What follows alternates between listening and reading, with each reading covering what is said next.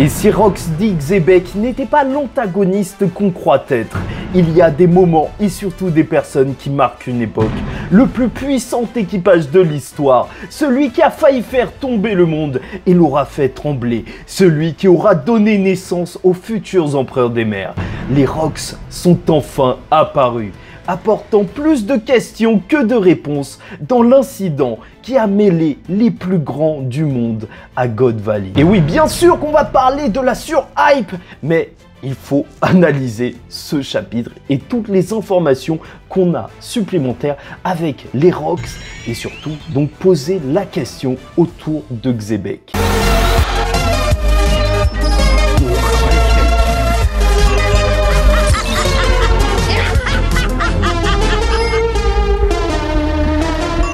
Mesdames et messieurs, ici Chage et on se retrouve aujourd'hui pour la review du chapitre 1096 de One Piece Kumachi. Et on retrouve en page cover Zoro qui est avec des chihuahuas, c'est cool ou peut-être euh, pas du tout, en fait euh, pas du tout. Et d'ailleurs je tenais personnellement à vous remercier d'être encore là à suivre mes vidéos parce que dans le débat Amiral, Yonko, il y a tellement de gens qui sont susceptibles de partir, j'ai eu beaucoup de désabonnements la semaine dernière parce que voilà, je l'ai dit, le constat est clair, Kizaru et Luffy à la fin du combat ont fait une chose, c'est sur bouffer le sol, les deux. Et donc, euh, à partir de ce combat, dire que un Yonko est plus fort qu'un Amiral ou inversement, c'est assez compliqué. Parce que même si je pense qu'un Yonko est supérieur, à partir de ce combat, on n'a pas tant de preuves que ça. D'ailleurs, n'hésitez pas à liker ou disliker la vidéo dès le début, commenter, donner votre avis en commentaire et vous abonner si vous n'êtes pas encore Et commençons tout de suite avant d'aborder le sujet Xebec par la sur-hype. Est-ce que ce chapitre était trop hypé? Est-ce qu'il a répondu aux attentes d'un chapitre légendaire? Parce que bien sûr, là où ce chapitre il est assez particulier, c'est que dans l'écosystème One Piece, donc avec les spoilers et même donc les personnes qui lâchent les leaks, là, on nous avait annoncé dès le début de la semaine que ce chapitre serait tellement important qu'il ne faudrait même pas regarder les spoilers. Et la dernière fois que ça a été dit, c'était pour le Gear 5.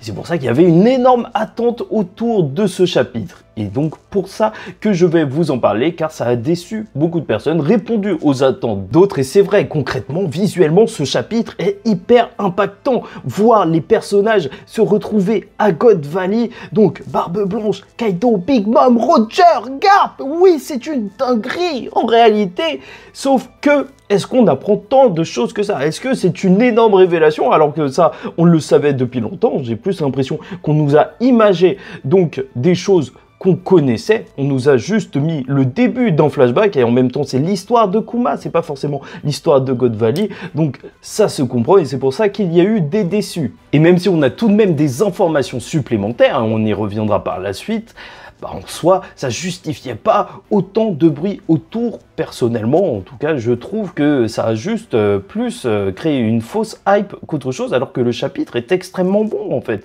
Juste visuellement, même, c'est là Koda, il est en train de briller, en fait. C'est avec ce genre de chapitre, avec son style de dessin qui te laisse même pas respirer, bah, c'est juste parfait qu'on est en train de te présenter un équipage, une guerre qui va avoir lieu, voir plein de personnages présents et des personnages iconiques sur une seule page, bien sûr que c'est juste incroyable visuellement et que Oda est super fort. Je sais même pas si on sera capable un jour dans l'histoire de One Piece de retrouver un flashback à la hauteur de God Valley en termes d'intensité. Là, c'est que des personnages qui nous hype énormément. C'est les rois de ce monde.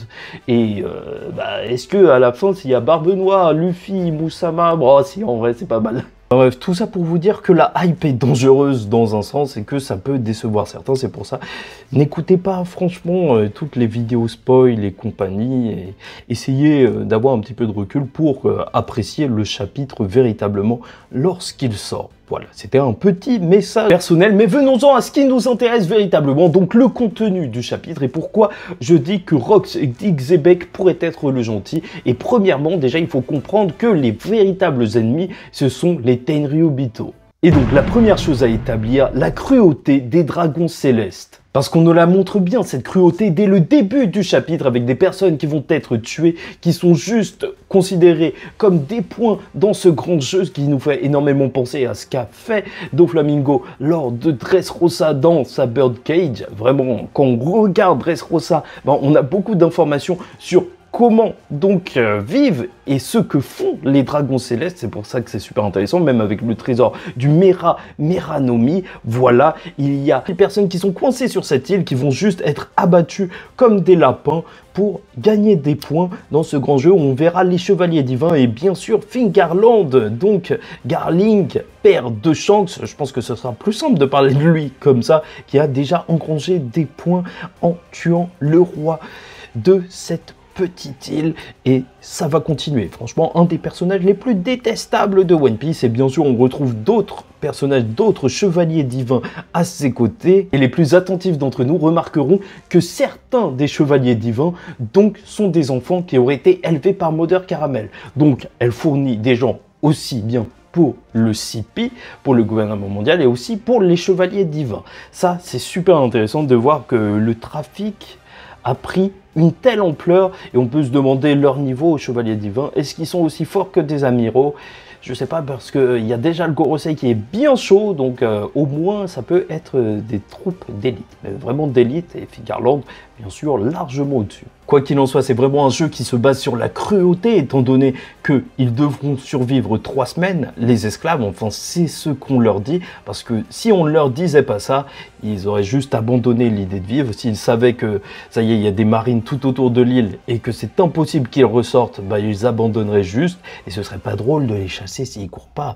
Oui, c'est là où va la cruauté des dragons célestes, leur donner même un infime espoir pour s'amuser. Et c'est pour ça qu'Ivankov a pour plan donc de réussir à survivre alors que ses menottes ont été enlevées par un homme poisson et c'est un véritable libérateur qu'on voit lors de ce chapitre et ça rend le personnage d'autant plus appréciable que à Impel Down aussi, c'était déjà le libérateur de ses prisonniers. Et franchement, le personnage d'Ivankov devient de plus en plus intéressant. Oda, il réussit vraiment à te faire apprécier des personnages qui, euh, visuellement, ne sont pas euh, les, les plus appréciables, entre guillemets. Enfin bref, voilà, là on a établi la cruauté des dragons célestes qui, euh, je pense qu'il n'y a personne qui peut les défendre, enfin, sait-on jamais, hein. le monde est complètement fou, il y a des gens qui défendraient n'importe quoi, et c'est pour ça qu'il faut remettre en contexte ce que fait Xebec. Et donc parlons de ça, Rox, qui serait en réalité peut-être un bon gars, puisqu'on apprendra lors de ce chapitre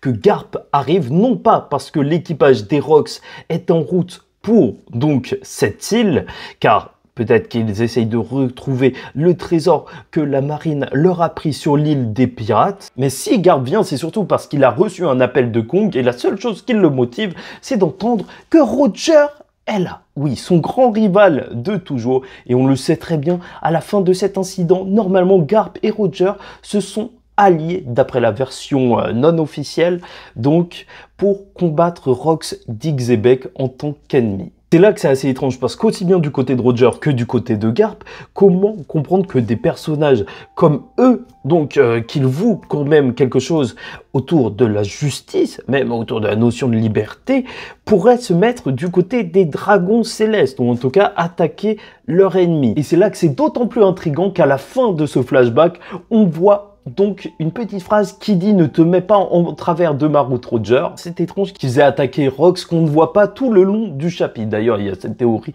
justement qui dit que ce serait un genre de baggy qui aurait recruté des membres super forts dans son équipage sans même lui être euh, un homme véritablement puissant, sauf que je pense pas, et surtout même ce chapitre me donne la vibe que Rox fait peut-être plus penser à un Luffy autre chose en fait. Surtout cette notion où il fonce dans le tas, ces barbes blanches qui le rappellent un petit peu à l'ordre. Et je pense que même si on n'a pas beaucoup d'informations, ça peut nous permettre de mieux comprendre le personnage de Rox. Et pourquoi donc un pirate et un marine se sont alliés alors qu'il y avait des trucs dégueulasses qui se passaient et que euh, si les dragons célestes disparaissaient, en vrai ils auraient pu être aussi contents. Et tout ça tiendrait simplement plus j'y pense et plus je me dis que ce serait peut-être juste le moindre mal. Parce qu'avec toutes les informations qu'on a là, même si les Rocks suivaient chacun leur objectif comme Big Mom et le fruit et compagnie, donc Rox s'était attaqué au dragon céleste et aurait pu faire énormément de victimes. Sait-on jamais En fait, je vois que ça comme solution. Peut-être que c'était juste pas la bonne manière, justement, d'attaquer les dragons célestes. Peut-être que ça allait faire trop de dégâts et c'est pour moi la seule possibilité pour que Roger et Garp se soit associé alors que Rox allait détruire les pourritures de Dragon Céleste. Leur problème avec Rox ne serait pas ce qu'il veut faire, mais la manière dont il veut le faire. Et là, on peut avoir un gros rapprochement, même avec Luffy et bien entendu Barbe Noire, qui eux deux vouent donc un culte au rêve, c'est ce qui aura été au centre de leur première rencontre, vu sont tous les deux dans une certaine notion de liberté, avec Luffy qui libère les peuples, et c'est assez subtil, mais en réalité, Barbe Noire, il fonctionne un petit peu de la même manière, mais de façon différente, avec quand même un équipage qui peut réaliser chacun leurs propres objectifs comme Aokiji, qui n'est pas forcément donc euh, le plus grand partisan de Barbe Noire, mais qui peut accomplir ses propres objectifs. C'est la réelle liberté. C'est là où euh, leur vision même, elle s'oppose, et c'est super intéressant de voir que euh, la liberté de Barbe Noire est absolu dans un certain sens puisqu'il est même prêt à tuer des camarades, à faire les choses les plus horribles, s'associer avec le gouvernement mondial, avec les pires raclures du monde, de la prison d'Impel Down, alors que Luffy, à lui, est plus dans une idée même de liberté quasiment euh, en fait relative qui s'arrête là où euh, la liberté de l'autre commence, hein, peut-être bien. Mais ça c'est super intéressant et ça peut peut-être nous faire mieux comprendre le personnage de Rox parce que si Barbe Noire suit sa philosophie, bah en fait c'est une philosophie qui est un petit peu de l'ordre du quoi qu'il en coûte, quoi qu'il en coûte, il aurait pu tuer les dragons célestes, même s'il y aurait eu des répercussions sur la population. c'est pour ça que je pense que c'était véritablement dans des bonnes intentions, en réalité, que Rox était là, ou en tout cas, même s'il n'y avait pas réellement de bonnes intentions, bah, il allait faire le bien en affrontant les dragons célestes, sauf qu'il aurait pu donc avoir des dégâts collatéraux tellement énormes que Roger et Garp se serait interposé. C'est la seule solution que je vois et je pense que ça pourrait être super intéressant justement pour nuancer le personnage de Rox qui ne serait pas réellement le grand antagoniste auquel on pourrait penser de prime abord. Enfin bref, euh, voilà, c'était une petite pensée comme ça. N'hésitez pas à me dire ce que vous en pensez en commentaire. Mais bref, revenons-en au déroulé du chapitre. Parlons de cette battle royale et de l'objectif, le Grand Prix, les possibles autres fruits du démon et même euh, la mère de Yamato parce qu'il y a plein d'informations qu'on peut peut-être tirer de tout ça. Puisque donc du côté d'Ivankov, Kuma et Ginny, leur but est de récupérer un des prix donc ces fruits du démon qui sont juste légendaires, extrêmement puissants, dont le fruit de Kuma avec sa papate qui permet de voyager, de partir, de s'envoler, et bien sûr le fruit actuel de Kaido s'il est encore vivant. Voilà, ce sont les grands prix qui sont offerts par les dragons célestes pour ce grand tournoi. Et ça déjà c'est super intéressant parce qu'on peut s'imaginer qu'il y ait d'autres fruits même qui sont posés là et qu'on va découvrir être obtenus à ce moment précis comme le fruit de barbe blanche, je sais pas, ou d'autres. Hein. Mais là où ça va être compliqué et ce qui sera véritablement à l'initiative de l'incident de God Valley, c'est que donc tout ça se trouve au centre de l'île et c'est pour ça que c'est impossible pour des esclaves normalement d'arriver jusque là, sauf si ils ont un leurre avec un Kuma qui se proposera, étant donné qu'il ne veut pas voir d'autres gens souffrir et qu'il est grand, il pourra endosser ce rôle de cible. Et ça, c'est un moment vraiment touchant. Le personnage de Kuma, vraiment, ce flashback, il est réussi parce que euh, personnellement, je suis attaché à son personnage. Même Ginny, elle aura été choquée qu'il veuille même se sacrifier pour les autres car il ne veut pas les voir mourir. Mais bref, donc, même avec ça, ça va être trop compliqué. Et c'est pour ça que Ginny aura eu l'idée et aura piraté les Mushi pour donc avertir tout le monde, les pirates, pour qu'ils viennent et qui aura été donc à l'initiative de l'incident de God Valley. Une petite fille qui, euh, en fait, euh, je sais pas ce qu'elle fout là, mais c'est juste génial. Et c'est donc avec l'arrivée de tout le monde qu'on va avoir des pages juste sublimes et qu'à partir de là, même juste en voyant l'équipage et certains membres qu'on ne savait pas être ou faire partie plutôt de l'équipage des Rocks même, qu'on peut parler. Parce que bien entendu, on peut se demander s'il n'y a pas une certaine hiérarchie de puissance, même avec la position qu'a fait Oda par rapport au personnage d'avant en arrière, même pour leur bulle de discussion, voir donc le Barbe Blanche qui semble être plus ou moins attaché à cet équipage. Si ça fonctionne comme chez Barbe Noire, alors tout le monde est plus ou moins libre de faire ce qu'il veut. Big Mom qui est là pour le fruit, Kaido c'est vraiment son petit à cette époque, ils n'étaient pas au max de leur puissance. Je me rappelle que même c'était après que Barbe Blanche était l'ennemi juré de Roger. Oda joue même avec nous, avec l'ancienne Stussy Miss Buckingham qui se retrouve sur Barbe Blanche. Donc euh, oui, est-ce que vraiment son fils c'est l'autre fraude là, je, je sais pas, mais enfin non, non, c'est sûr que c'est un clone parce que c'est n'importe quoi. Mais pour moi, il y a deux questions qui se posent véritablement en voyant cette page des Rocks sans voir le capitaine, parce que euh, ça risque d'être une énorme révélation. Sûrement qu'il est corrélé avec un autre personnage qu'on connaît déjà rien que physiquement, et que lorsqu'on le découvrira, la limite en fait, c'est une révélation de pas le voir, parce que Oda essaye de nous cacher son visage, sinon il aurait pu juste montrer sa tête. C'est qu'il doit vraiment ressembler à quelqu'un de l'univers actuel de One Piece. Ça doit vraiment être le père de quelqu'un qu'on connaît. Enfin bref. Donc les deux choses que je trouve intéressantes, c'est tout d'abord de voir Gloria Nyon, donc reine d'Amazon Lily qui avait quitté l'île, qui se retrouve donc avec les Rocks, on apprend ce qu'elle a fait, et il y a cette théorie, voilà, je vous lâche ça comme ça, comme quoi elle pourrait être la mère de Yamato. Bon, en fait, euh, ça repose sur pas beaucoup d'arguments. Elle a les cheveux clairs, Kaido, il est là, voilà, il y a une meuf, il y a un mec, je te fais pas de dessin, et Yamato est plutôt jolie. Reine des Kuja, elle aussi, ou en tout cas sans de Reine des Kuja, ça pourrait marcher, enfin bref. Et deuxième chose que je trouve intéressante, et en fait euh, qui me turlupine depuis longtemps, c'est que Wang Zi, donc là, il était plus ou moins mort à Thriller Bark, on avait récupéré son corps, là c'est confirmé, limite qu'il est là, mais... Euh, donc c'était son véritable corps, mais comment ça se fait que Barbe Noire, donc durant l'ellipse avec Kobe, le moment où il est devenu héros de la marine, lorsque Barbe Noire a récupéré l'île de la ruche, bah, il a attaqué un Wangzi qui était vivant. Qu'est-ce que ça veut dire? Je comprends pas. Et bon, je sais qu'il y a des gens qui vont se poser des questions par rapport à H d'argent, ils sont trop hypés, mais la vérité, on n'est pas obligé de se poser des questions sur tout. Hein. Qui est hypé par H d'argent? Arrêtez de mentir. Moi, ça me rend fou, les gens qui disent « Waouh, il y avait H d'argent !» Arrête, on s'en fout, mec. Et je te parle pas des autres mecs qui m'intéressent pas du tout au fond, Wolverine. Et bien sûr, Chique est canon, il y avait ce débat, est-ce qu'il est canon ou pas, parce qu'il apparaît dans un film, il, il a été utilisé n'importe comment.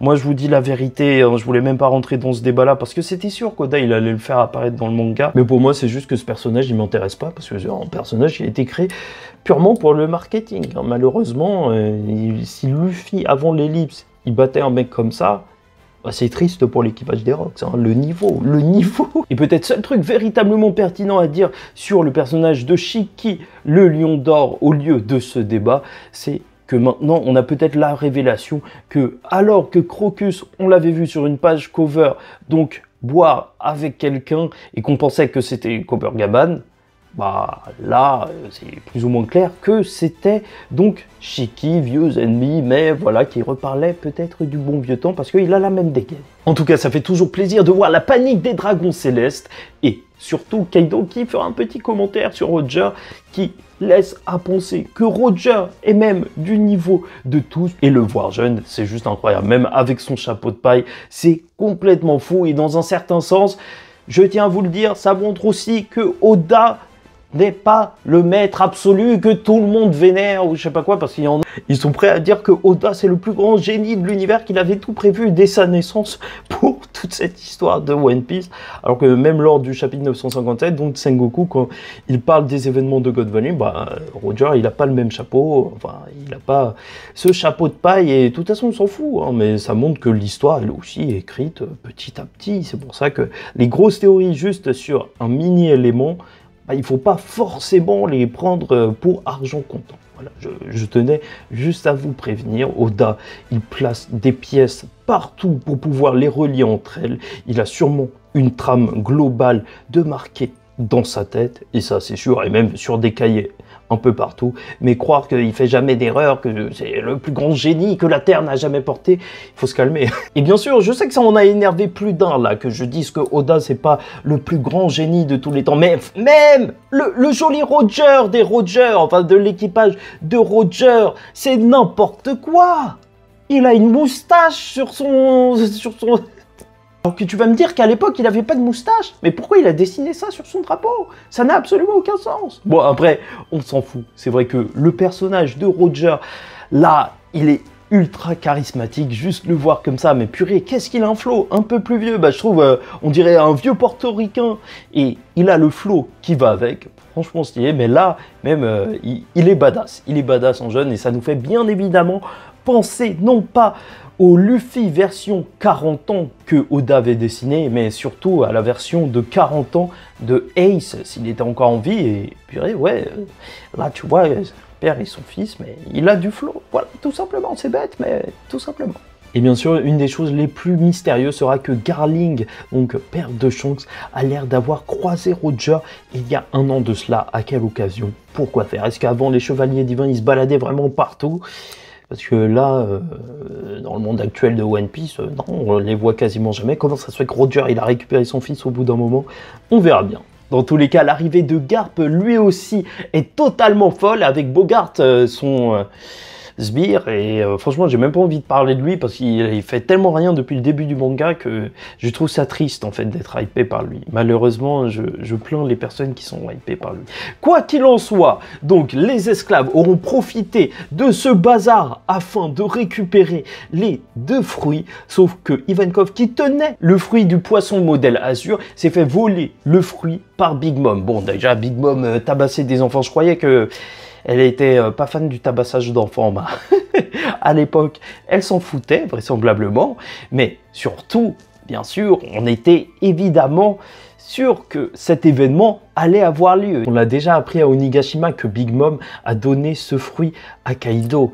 Et c'est ça qui est juste terrible avec euh, ce flashback, c'est que c'est vraiment ouf, hein. vraiment, encore une fois, visuellement et tout, c'est hyper impactant. Mais euh, ça va, il faut pas dire que c'est un chapitre plus fou que le Gear 5. Quand même, quand même. En vrai, en soi, c'est extrêmement dommage qu'on n'ait pas vu Ivankov avec ce fruit parce que il serait passé de drag à drag on. Vous avez capté ou pas? Elle était nulle, mais puis c'est marrant.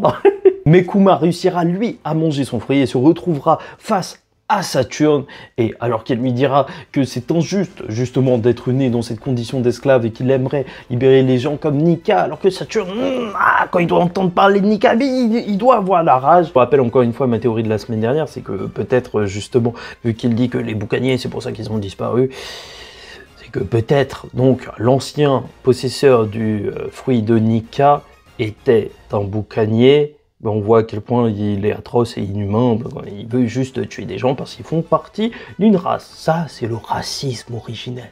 C'est beau. Enfin, non, c'est pas beau du tout. C'est sale. C'est très très sale. Enfin bref, il réussira à s'enfuir et c'est là que ça devient très intéressant parce qu'on peut peut-être préfigurer les prochains événements d'Egghead avec la fin de ce flashback. Et bien sûr aussi peut-être confirmer que Ginny est réellement la mère de Bonnie, puisque Kuma a téléporté ses amis jusqu'à l'île de Sorbet où il vit dans une église, c'était son ancienne maison. Tu le vois prier, est-ce qu'il prie une divinité du monde de One Piece en particulier? Est-ce que c'était Nika qu'il priait dans un certain sens? Quoi qu'il en sera, Ivankov lui dira qu'il a les de la libération, les mains de la libération. Il a sauvé 500 personnes. Et ça c'est juste fou à dire. Et c'est vrai que le fruit de Kuma il revêt une telle symbolique en fait de libérer tout le monde que ça en devient beau, tu vois, même euh, peut-être plus que le fruit de Luffy, parce que le fruit de Luffy, c'est la liberté, mais en soi, pour libérer les gens, après, il doit les taper. Alors que là, c'est littéralement les faire partir, même leur faire enlever leur douleur. Vraiment, le fait que ce soit un esclave qui ait eu ce fruit, c'est super beau de la part d'Oda. Enfin bref, mais là où ça pose beaucoup de questions, c'est pas au niveau du gouvernement qui a dit que seul Garp a réussi à être le véritable héros et c'est là qu'il a eu son titre et que peut-être Morgan bah, était déjà là, ils sont déjà en train de l'accuser, euh, les enfants, et je me dis que ouais, le, les journalistes, hmm, ah ouais, même s'ils sont accusés, bah, c'est comme dans la vraie vie, hein. des années après, ils sont encore là. Enfin bref, donc c'est Kuma qui aurait sauvé 500 personnes. Et ça, on ne l'a pas vu. Et ça, ça peut être super intéressant pour Egghead. Parce qu'on nous parle des mains libératrices de Kuma, alors que God Valley et même Egghead se retrouvent à peu près dans la même situation, en tout cas abordés par des bateaux tout autour et il n'y a absolument aucun échappatoire. Et alors que le Kuma est devenu complètement fou, peut-être qu'il va sauver les Mugiwara comme il avait sauvé les 500 personnes à God Valley et même assister donc à l'éveil de Nika, même voir Luffy se dire qu'il aurait sauvé le Joy Boy, le Nika en donnant sa vie peut-être bah ce serait super beau. Franchement, je le vois bien revenir et donc sauver les Mugiwara une nouvelle fois. Pour faire donc bien évidemment parallèle à tout ça, et c'est donc plus du tout anodin qu'à chaque fois qu'on a vu Kuma, enfin souvent, il se retrouvait sous un faisceau de lumière, celui qui attendait le retour de la divinité Nika. Et c'est là que le chapitre va se terminer avec Ivankov qui va prendre la mer et partir demander à Kuma de ne pas oublier son visage. Et c'est ça qui a été terrible parce que après quand tu mets ça en lien avec les événements de Marineford où Ivankov était dévasté de voir que Kuma avait oublié son visage. Bah ouais, non mais Oda il est fort pour ces mini-scènes qui revêtent donc un autre sens après, ça donne envie de revoir tout Marineford, vraiment c'est une folie. Et donc Ginny et Kuma ont dû vivre tout seul, s'envoler, en travaillant dur pour avoir de l'argent et pour pouvoir se nourrir, même s'il y avait deux enfants qui lançaient des pierres sur Kuma, parce que est-ce qu'il a vraiment 9 ans? Bah Kuma était bon, il les soignait même alors que Ginny les avait défoncés, et c'est peut-être pour ça qu'ils ont eu une fidélité tels que plus tard quand ils sont devenus vieux, bah, on peut peut-être les retrouver, et c'est sûrement le cas dans l'équipage de Bonnie, comme on l'aura vu avec ces personnages qui leur ressemblent énormément, et le chapitre il va se terminer sur ce truc qui... Un passage anodin, mais qui, est tellement fort en réalité. Juste les voir manger, voir Ginny euh, reprendre de la bouffe même, et les voir en train de pleurer. Je ne sais pas si vous avez déjà entendu des histoires de, personnes qui, meurent de faim, mais euh, ah, moi, ça m'a touché. Ça m'a touché. Et franchement, Oda, dès qu'il commence à parler d'esclavage, Fisher Tiger, jusque-là, c'est un de mes personnages favoris de One Piece. Parce que malgré toute sa force d'esprit, sa force tout court, il n'aura pas réussi justement à, à vivre avec le sang d'un être humain, vu tout ce qu'on lui a fait. Enfin, c'était tellement fort. Et là, avec Kuma, on est en train de nous écrire une masterclass pareille. C'est fou, vraiment, Oda en ce moment, c'est la folie. Flashback de Kuma, 20 sur 20 pour l'instant. Même si on sait très bien que ça va être terrible parce que Ginny va sûrement mourir par la suite et qu'elle est sûrement la mère de Bonnie parce qu'en plus c'est une gloutonne tout va mal se passer pour que même euh, Kuma continue le combat du côté aux côtés des révolutionnaires. Le prochain chapitre, dans un certain sens, promet d'être terrible, mais globalement, le chapitre 1096 de One Piece est un témoignage de l'histoire. Alors qu'un Code Valley pirates, marines, gouvernements, alliés comme ennemis se sont retrouvés entremêlés dans un même nœud du destin, certains ne défendaient ou ne recherchaient ni grand trésor, ni vengeance, ni grand combat, mais tentaient juste de vivre. Et Kuma ce jour-là, à l'image de Nika, aura été le libérateur. Esclave ayant brisé ses chaînes et celles d'autrui, il a pu s'enfuir, une éclaircie dans son chemin qui a été et qui s'annonce malheureusement bien sombre.